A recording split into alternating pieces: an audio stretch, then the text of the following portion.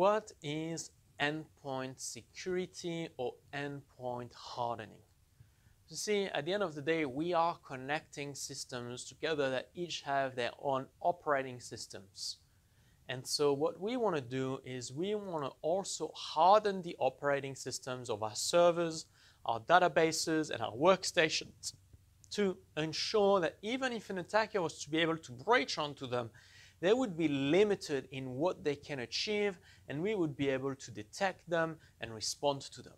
And so what we want to do is we want to understand the security features that an operating system offers to us so that we can deploy those security features.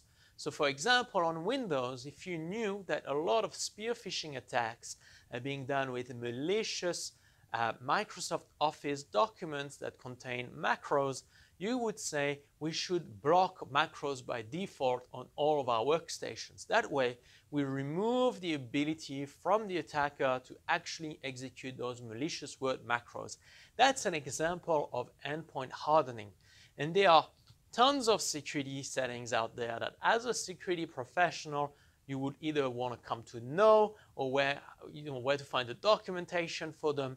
And your job will be to actually figure out how to deploy these security features at scale on all machines or servers in a consistent, systematic manner to be able to defend the network and defend the enterprise. And so, as it turns out in our platform, we've got plenty of cyber defense exercises to teach you this.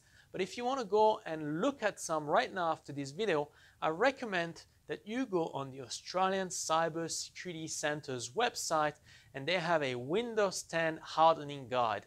And it's a very comprehensive PDF document that actually categorizes in order of priority the security hardening settings you can put in on Windows. And so these would be the kind of things that you want to understand why do we want to turn on those settings? What do they prevent and what do they block? What do they defend against? what kind of attacks will be disabled if we actually use these security features.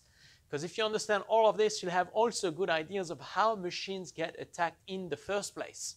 So thank you for watching. I hope this clarifies what endpoint security is, and you should definitely learn more about it. If you've liked this video, the next step for you is to register on our online learning platform to learn practical skills that will get you a job in the industry. Thanks for watching and see you in the next video.